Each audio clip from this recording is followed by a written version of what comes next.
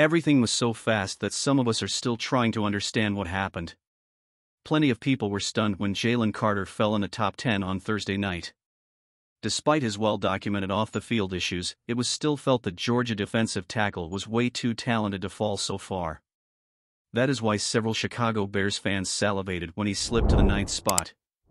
After all the reports leading up to the draft, everybody expected GM Ryan Poles to pull the trigger. Then reality came crashing down. Chicago swapped spots with the Philadelphia Eagles at number 10 for a future fourth-round pick. The defending NFC champions took Carter the Bears opted for big Tennessee tackle Darnell Wright. Welcome to the channel Bears fan. Poles wasn't under any illusions. He knew passing on Carter was going to upset some people. Bears media members inevitably brought it up at his post-first round presser late Thursday evening. He chose not to discuss Carter specifically. However, he did offer one small line that sent a clear signal for why the Bears passed on him. Remember, it's not like the Bears were lazy about this they met with Carter several times leading up to the draft. They did their homework. Clearly, they didn't like what they were hearing. Perhaps nothing sums up why the Bears passed better than this snippet from Bob McGinn of Go Long.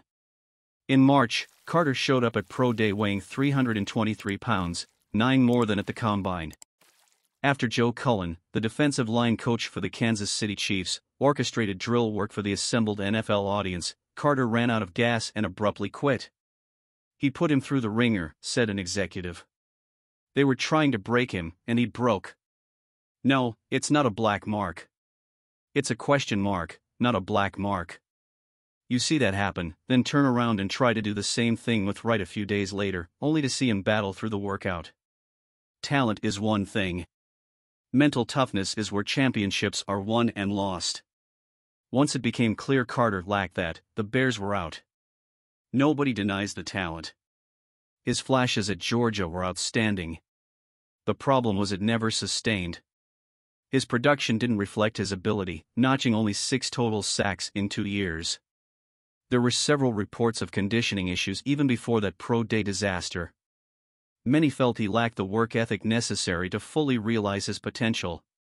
That is reflected in how he completely vanished in the game against Ohio State. The Buckeyes' interior OL wore him out. He was a non-factor in the fourth quarter. Yes, there is a risk in passing on Jalen Carter. He may get over his maturity issues, improve his work ethic, and become a great Eagles player. The Bears don't seem bothered by that. They had certain thresholds that needed to be met for a player to justify being a first-round pick for them.